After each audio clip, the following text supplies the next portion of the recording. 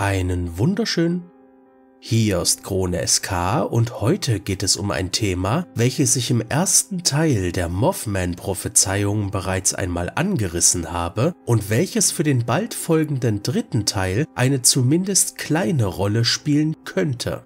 Die Men in Black. Die Men in Black Filme mit Will Smith und Tommy Lee Jones sind ja mittlerweile ein recht bekanntes, beinahe schon Kulturgut.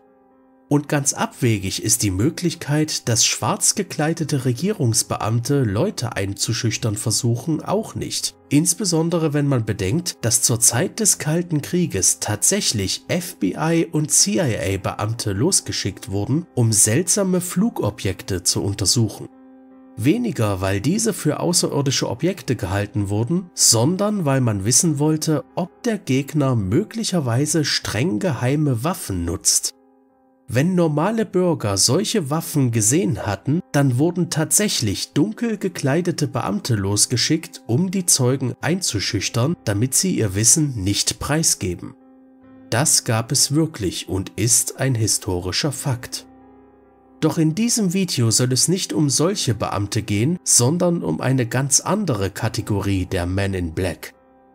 Grundsätzlich gibt es zwei Theorien. In der ersten Variante kommen schwarz gekleidete Regierungsbeamte zu jenen Leuten nach Hause, die kurz zuvor ein UFO und oder Außerirdische gesehen haben. Damit die Zeugen ihr Wissen um die Außerirdischen nicht preisgeben, schüchtern die Beamten diese ein, da die Veröffentlichung des Wissens die Grundordnung der Welt erschüttern könnte. Auffällig dabei ist, dass diese Beamten stets als groß, schlank und sehr ähnlich aussehend beschrieben werden. Sprich, diese Beamten sind kaum voneinander zu unterscheiden. Und darauf aufbauend hat sich eine zweite Theorie dazu gebildet. Nämlich, dass diese Beamten überhaupt keine Menschen sind, sondern Außerirdische, die sich nur als Menschen tarnen. Das Ziel ist dabei so ziemlich dasselbe, die Alien-Beamten wollen nicht, dass ihre Geheimnisse von Zeugen preisgegeben werden. Dies sind erstmal die zwei grundsätzlichen Theorien. Natürlich werden diese Theorien untermauert von Zeugen, die diese Beamten angeblich gesehen haben wollen. Und die Sichtungen solcher Men in Black ziehen sich bis heute hin, sogar so weit, dass sie mittlerweile auch in Deutschland gesichtet wurden. Aber kommen wir erstmal zum wahrscheinlichen Ursprung bzw. der ersten Sichtung und Erwähnung solcher Regierungs- oder Alienbeamten. Im Jahre 1953 berichtete der Ufologe Albert K. Bender, der zuvor bereits so einige UFOs gesehen haben will, davon, dass er Besuch von mehreren Wesen in schwarzer Kleidung bekommen habe, die ihm mitteilten, dass er sein gesamtes Wissen über UFOs für sich behalten solle. Anderenfalls solle etwas Schreckliches passieren. Dies hielt Bender jedoch nicht davon ab, von dieser Begegnung in seinem Buch Flying Saucers and the Free Man zu berichten. Dann wurde es erstmal wieder ruhig um die Men in Black. Doch dann, ab dem Jahre 1967, meldeten sich verschiedene Zeugen, die diese Wesen in Schwarz ebenfalls gesehen haben wollen. Die interessanteste Meldung stammt dabei wohl von Robert Richardson aus Toledo. Er fuhr im Juli 1967 in der Nacht eine Straße entlang, als plötzlich vor ihm ein leuchtendes und schwebendes Objekt auftauchte, mit welchem er frontal zusammenstieß, da es zum Bremsen bereits zu spät war. Daraufhin flog das Objekt davon. Die Polizei stellte einige Schäden fest, die von einem Zusammenstoß zu kommen schienen, doch auf der Straße konnten nur Autospuren gefunden werden. Jedoch wurde in unmittelbarer Nähe ein Metallteil gefunden, welches nicht zugeordnet werden konnte. Was jedoch aus diesem Metallstück wurde, ist nicht bekannt. Angeblich soll es noch heute bei der Gesellschaft zur Erforschung von Luftphänomenen zu finden sein, doch äußerte sich diese Gesellschaft nicht dazu. Jedenfalls klingelte es drei Tage nach dem Unfall um etwa 23 Uhr an der Haustür von Robert Richardson. Dort standen plötzlich zwei große Männer in schwarzen Anzügen und mit schwarzen Sonnenbrillen. Sie befragten ihn freundlich über den Unfall und gingen dann auch wieder. Eine Woche später standen diese Männer erneut vor seiner Tür. Diesmal versuchten sie ihn davon zu überzeugen, dass dieser Unfall nie stattgefunden hat. Sie drohten ihm, dass sie seiner Frau etwas antun würden, wenn er weiter von seinem Erlebnis erzähle. Mehr ist dazu nicht bekannt, nur dass er diese beiden Begegnungen der Polizei meldete. Ob und inwieweit diese dann ermittelte, ist nicht genau zu verfolgen. Und obwohl es keine Zeitungsberichte zu diesem Treffen mit den Men in Black gab, meldeten sich in den folgenden Wochen mehrere weitere Zeugen, die von diesen Männern besucht wurden. Interessanterweise gab es insgesamt sechs Meldungen aus Point Pleasant, jenem überschaubaren Städtchen, in welchem kurz zuvor der Mothman erstmals gesichtet wurde und in welchem schon bald die Silver Bridge in sich zusammenbrechen sollte. Ob und inwieweit dabei ein Zusammenhang besteht, sei an dieser Stelle mal dahingestellt. Nach den diversen Sichtungen im Jahre 1967 wurde es um die Men in Black wieder relativ still. Es gab zwar vereinzelte Meldungen über Besuche dieser seltsamen Männer, doch handelte es sich ausschließlich um Behauptungen, die nicht nachweisbar waren. Und hierbei kommen wir jetzt zum großen Problem dieser Men in Black Sichtungen.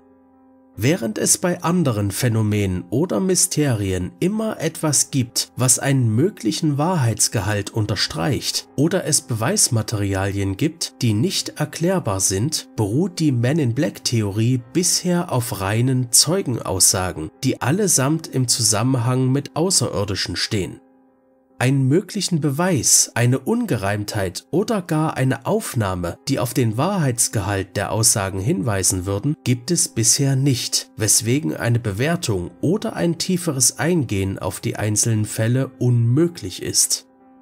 Ja, es gibt ein Video, welches solch einen Mann in Schwarz angeblich zeigen soll. Doch ist dieses Video mit äußerster Vorsicht zu bewerten, denn es wirkt ziemlich künstlich aber beurteilt das lieber selbst. Hier ist das Video.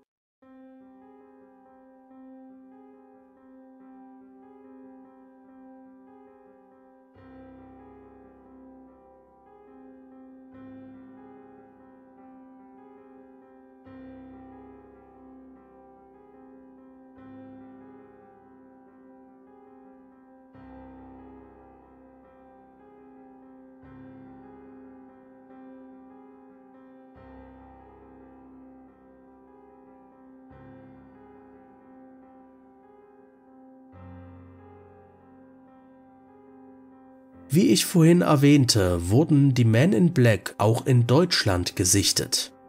So gibt es aus Deutschland zwei Fälle, die etwas bekannter sind, da die Zeugen mit Nachdruck darauf bestanden, dass sie sie wirklich gesehen hätten. Da wäre einmal Lothar Schäfer, der im September 1978 einen Man in Black auf einem Fahrrad begegnet sein will, nachdem er 18 Monate zuvor ein UFO gesehen hatte. Der Man in Black sagte zu ihm, er solle niemals ein Wort über das UFO verlieren. Danach verschwand er plötzlich mitsamt dem Fahrrad. Die andere Sichtung ist der sogenannte Knittelfeld-Vorfall vom August 2003. Jürgen Trieb und Waltraud Kaliber fotografierten am 24. August 2003 in Knittelfeld seltsame Lichterscheinungen am Himmel. Kleine Anmerkung, diese Lichter gab es wirklich und sie sind bis heute nicht gänzlich geklärt. Jedenfalls wurden sie einen Tag später von einem schwarz gekleideten Mann besucht, der sie über die Lichter ausfragte und auch die Fotos haben wollte, welche die beiden aber nicht herausrückten. Daraufhin verschwand der seltsame Mann plötzlich und tauchte nie wieder auf. Aber ihr seht, alle diese Fälle haben in etwa denselben Ablauf, doch sind es stets nur Einzelfälle, die mündlich weitergegeben werden, weshalb eine Nachforschung, wie bereits gesagt, so ziemlich unmöglich ist.